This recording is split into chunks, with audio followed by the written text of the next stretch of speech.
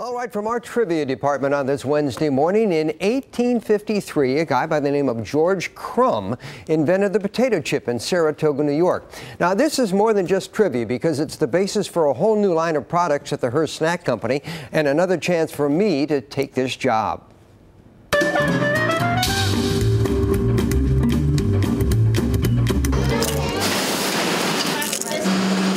Potato chips, crispy, crunchy, salty, and hard to eat just one. At Herr's in southern Chester County, they process 600,000 pounds a day. Ed Herr, the head chip, says it all starts with high quality raw potatoes. If a potato has green on it, that means it's actually sunburnt. Okay. And we don't want that to go through the process. Herr says no green spots and no dark spots. You have to concentrate and be on your toes to keep the quality high. Pretty good spot. Good, good, good. Huge slicing machines transform the baseball-sized round balls of starch into thin slivers that sizzle when they hit the hot cooking oil. This machine makes 4,000 pounds of chips an hour.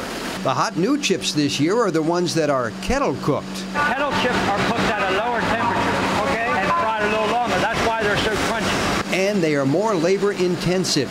Blades constantly keep the potatoes moving in the hot oil. If we don't keep them raked, they tend to stick together. Kettle chips are cooked in small batches, and between each batch, the oil has to be cleared of pieces that may have settled at the bottom of the vat.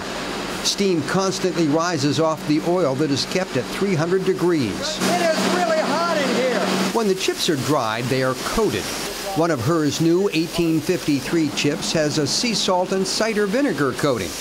It goes into a hopper that funnels the powder to a shaker that coats the chips as they pass underneath.